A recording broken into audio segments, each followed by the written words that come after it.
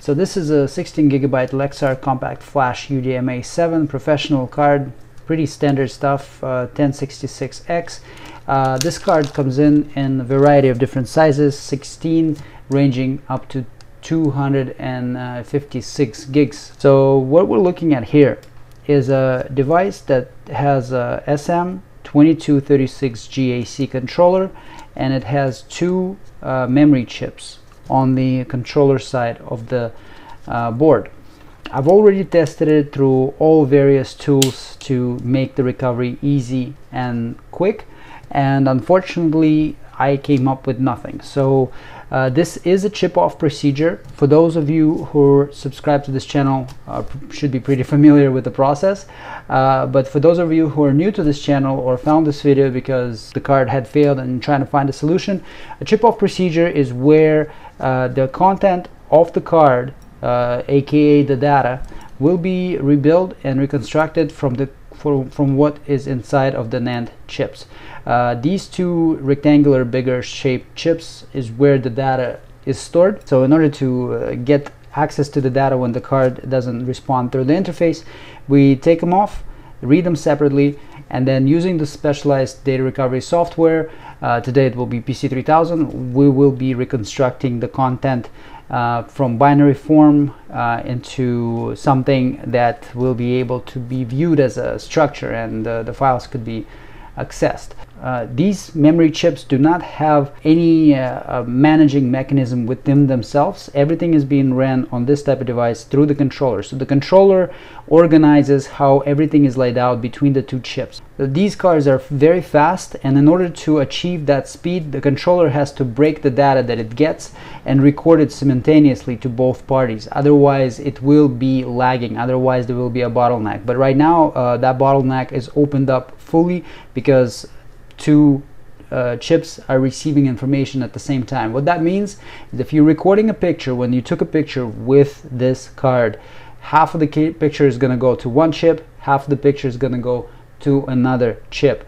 Uh, the chunks that it uses to record those tiny fragments are so small that uh, if one of those chips becomes problematic, the data is not going to be able to be retrieved from from only one of the members. So today we'll uh, be taking them off cleaning the chips reading them doing the error correction and the final step will be mix assembly which I will take you through entirely explain how these cards get built and how the data can be produced when it's totally dead and not responsive. First thing we need to keep in mind is their physical sequence. Uh, usually the sequence of the chips uh, corresponding to the controller is going to be marked on the printed circuit board. If we look on our printed circuit board here, we see that there are two memory chips, uh, one in this position and one in this position. And uh, the markings for them are U50 and U51. Uh, so U50 is going to be our chip number one and U51 is going to be our chip number two. Step two is take them off and clean them, prepare them for the reading. Add some flux. So the temperature I set is 390 at uh, 90 air to remove. Once we see that the component starts to move like that, we can just pick it up and it's out and do the same thing for the chip number two.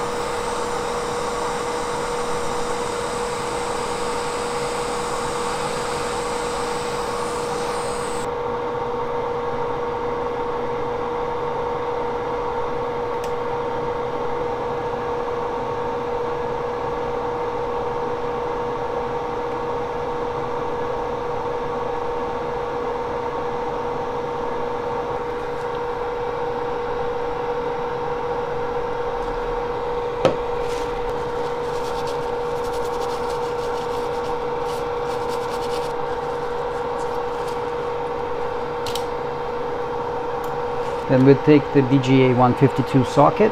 So we have the orientation key on the chip and we have the orientation key on the socket. You can see that the uh, the chip doesn't center itself perfectly because uh, the socket for BGA 152 and 132 there's no difference in them pinout wise but the frame and has a slight gap. It's not that big of a deal to center it. You just got to keep equal dis distance on both sides. Then we hook it up to PC3000 and open up the software. So since our first chip is already in the socket, I'm gonna go ahead and read ID for it.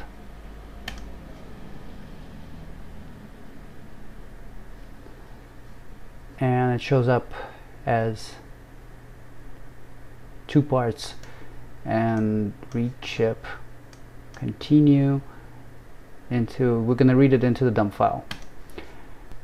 Let's see what speed we get. We get 6 megabytes per second which is pretty good. We're gonna spend about 45 minutes added to the transformation graph. All four parts are listed here and the very first thing that we need to do is uh, perform error correction. And once it finds it we can see the actual um, ranges. This is service area and uh, this is data area plus error correction code data area is going to be consisting of two parts which are 512 each and the remainder will go towards ECC. We're going to go ahead and select yes for execution.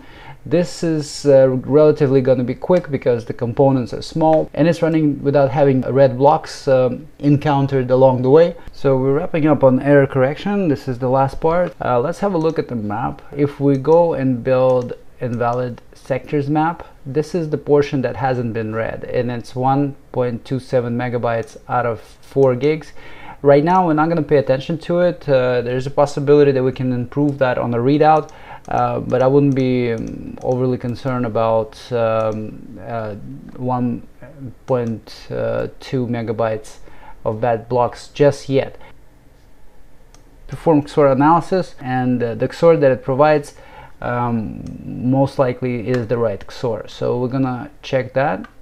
The next thing we need to do is we need to line up these four parts in a specific order. That's, that order has a sequence. So if we go into service information, there is the first one, we see SM2236PA, CE0 from chip 1 will be linked with CE0 of every other chip on the device. In order to group them together, we need to move into the left segment and that switches places with one uh, service information step it up again and browse few blocks down we see that um, our A is at the very top we can copy this LBA and just look at the hex view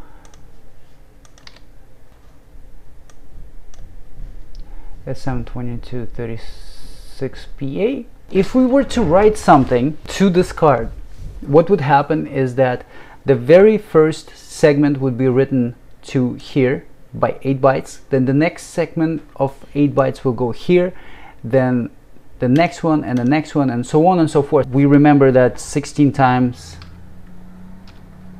10098 goes for our data plus ECC.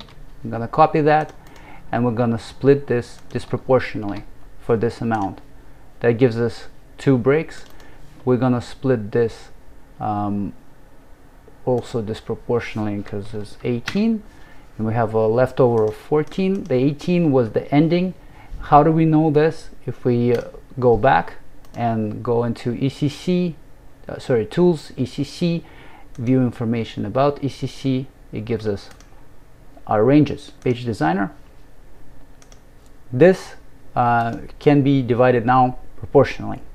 I'm going to divide it into 16 parts. Split it up again uh, disproportionately for 1024. 1024 is 512 times 2. Cut that in half. Add these to the range and we're gonna add this to the ending. This is our page description for now. Okay, so now that we've added the page transformation uh, we can join the four parts joined by keywords element let's verify that the merging is done properly so we go into service area and we're just gonna locate one of the first blocks here and we have SM2236 para which is what the uh, beginning of this block should look like. Uh, we also have our ID for the chip and there are four of them here so they're also in the correct order how they're supposed to be 2C44403C four parts got merged into two parts. The block size had changed. We used to have 8192 now we have uh, 16384 we're gonna go into page designer again and uh, we will see that our page size increased. Again we need to break it into the, these segments again so that the tool will know how to arrange them. Split it into 32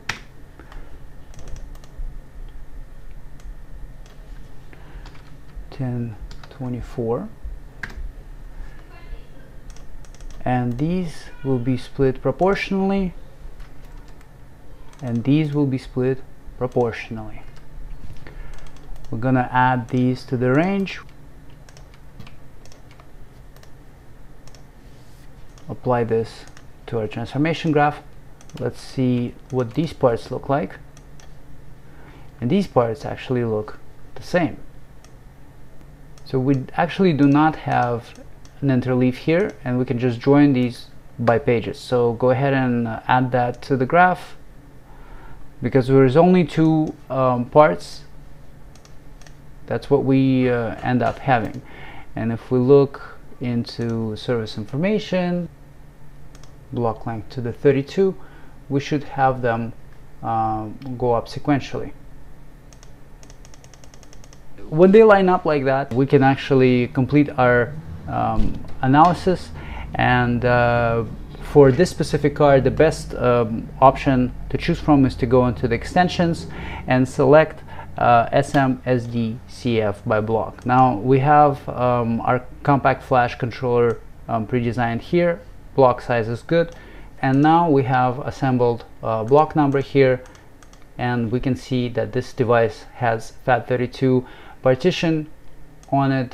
If we look at the structure, we can see that it's got a DCIM folder and inside we see images and headers look quite all right. So that's pretty much it for the process. Now it's just a matter of saving the data and um, informing the customer. If you uh, lost important content on the uh, memory card and you need it uh, back, uh, check the link in the description. All of our contact information is there. Uh, for those of you who subscribe to this channel, thank you guys for joining once again. If you have any questions, as always, drop them in the comment section below and I'll be happy to answer all of you. Uh, for those of you who are new, subscribe, hit the notification button uh, to be notified when the next video drops. This channel is all about data recovery, so if you're interested in the topic, this is the place to be. Thanks again. See you next time.